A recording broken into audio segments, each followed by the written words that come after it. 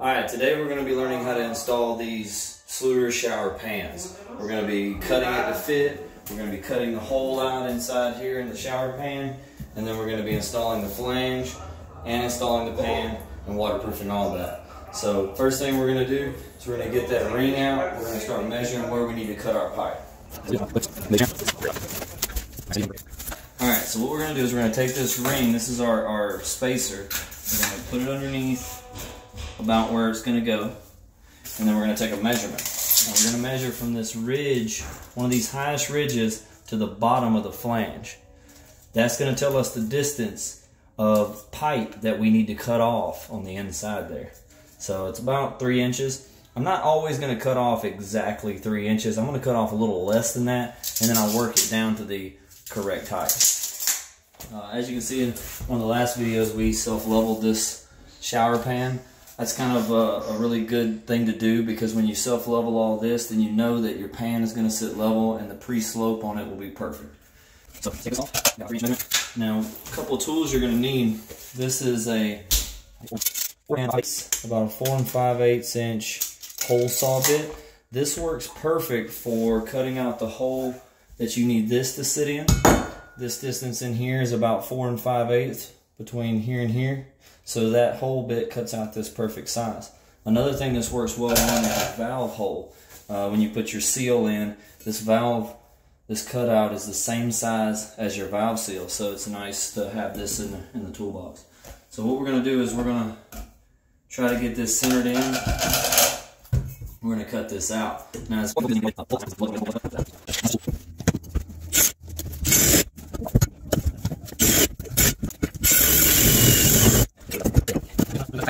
Alright, so one of the essential tools I wanted to needed to mention was this guy. It's an inside pipe cutter. Um, get it on Amazon. This is a necessary tool. Gotta have this. This cuts the inside of the of the pipe.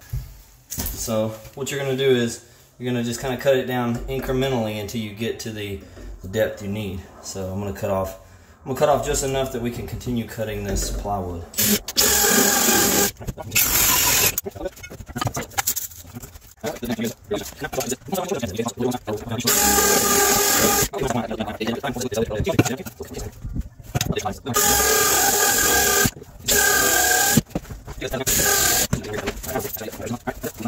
Alright, so you see how we got some wiggle room in there?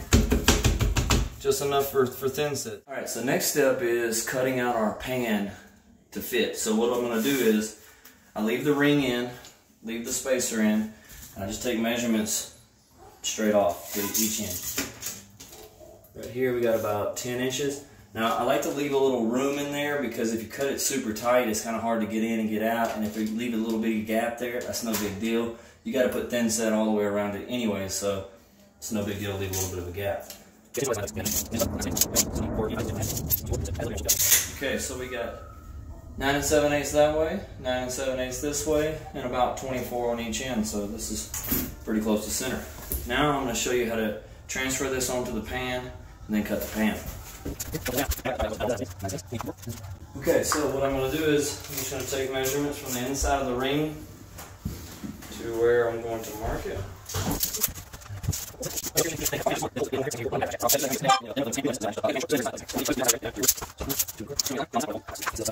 Alright, so what we're doing is we've marked out our pan from the from the ring out to our marks. We're going to make a nice straight line. Then we're just going to cut that with a multi-tool or you can actually cut it with a razor. You can cut it with anything. This is foam, so it'll cut super easy.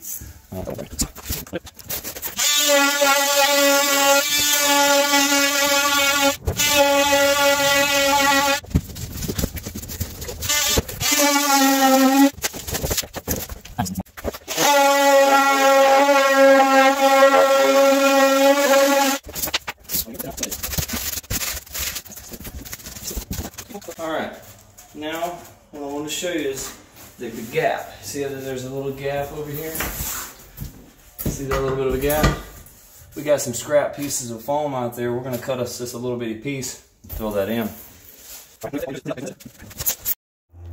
Alright, so we're cutting our little cutting our little end piece here. And one thing that's kind of important, you want to center it. You want to center it first and then make your measurement of the halfway point out of that. So we had 32 and a half. That's what, 16 and a quarter? So 16 and a quarter each way. So we'll cut off a little piece off of this end and a little piece off of that end.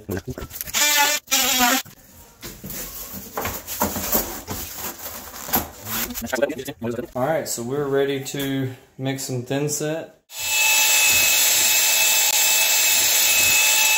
All right, so the next step is to clean your pan very well. You want to sweep it up any dust, debris, vacuum up anything. Then we're gonna take a wet sponge and we're gonna wipe down everything with a wet sponge. So I wanna talk about how you put your flange in. This is how you install the flange. So you got the, you got our ring here, you got the flange, you got an ABS glue, thin set. You can mix it kind of soupy, it's okay. So we're gonna first we're gonna thin set this down, then we're gonna add thin set on top of this, then we're gonna install this over the top of that.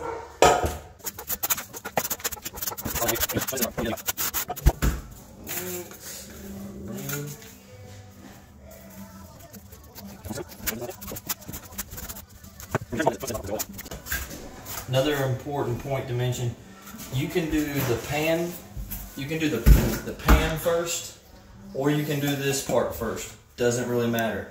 The only thing that does matter is that when you do either or, that you try to make sure that the transition between here and that pan is pretty flush. Uh, it just helps you when you go to install your tile if you make sure that that transition there is nice and smooth. I got that on there good. Now we're gonna add our ABS glue. You're gonna throw some ABS glue on the inside here. Then you're gonna throw some ABS glue on the outside down here. Just of make sure you get a good connection. Over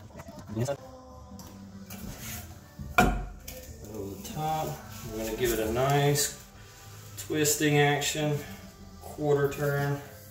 Now see how the, the spacer kind of slid out? We can just slide that back under.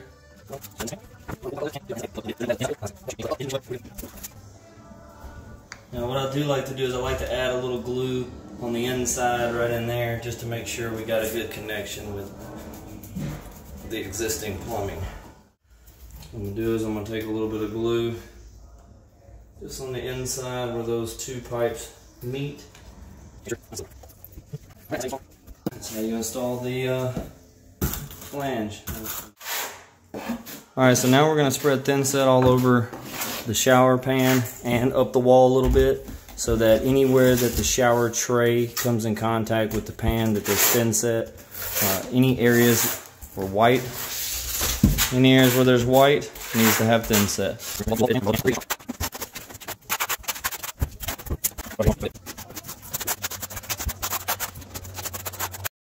Alright, so now what we're going to do is we're going to insert our pan. We've got it.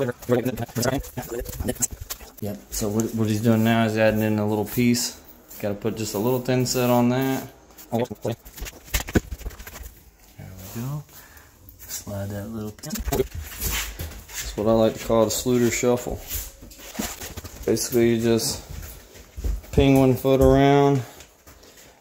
Everywhere you'll feel the little bubbles popping under your feet. Alright, so what I want to talk about is this transition between flange area and the pan. So first you're going to make sure that you got none of that foam ring going up under the edge of your pan. Sometimes, sometimes you can accidentally get pieces of that pan, pieces of the, or you cut it, stuck under. You're going to kind of check this like, like that. It gives you a good idea to feel where it's high.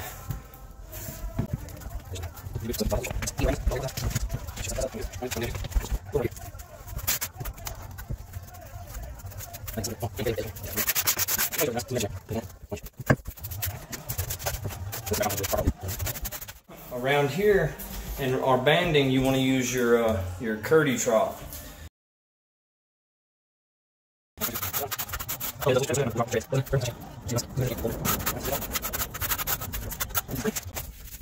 Once you put this ring on here, if you if you smash it in with your hand like like so, you can see a lot of those creases collapse. Rub it in with your hand. And that also helps you feel the transition between flange and pan. I like to use a lot of thin set and just saturate this membrane with thin set. It makes it super rigid once it dries.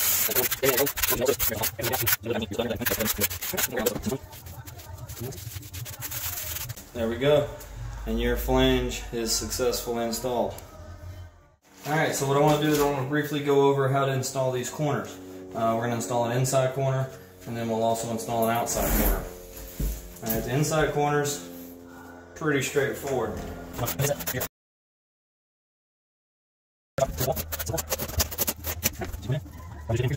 Two of these guys. Press one into the corner. Screed with the other. I like to do it twice so that it coats it with thin set like that. I like to coat all my membrane with thin set. That is the successfully installed inside corner. Alright,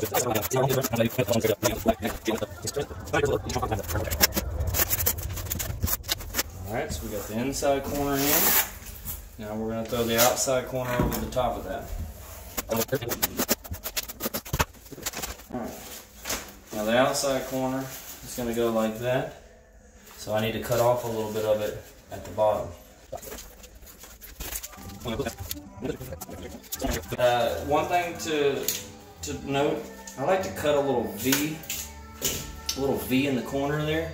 That'll help. You'll see when I start to put that in how that V kind of helps that overlap.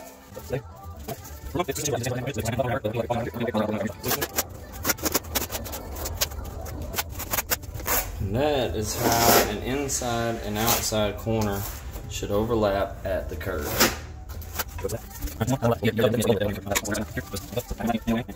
So next, what we'll do is we'll put in a banding strip there, and we'll repeat at every corner. Band every seam. All right.